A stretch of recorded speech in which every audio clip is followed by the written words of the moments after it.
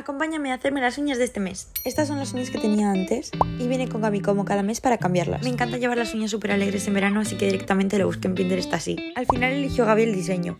Me estuvo contando que se iba a ir de camping con su hija ese fin de semana. Tiene una niña monísima y siempre que voy me habla de ella. Últimos retoques y este es el resultado, pero faltaba la carita sonriente.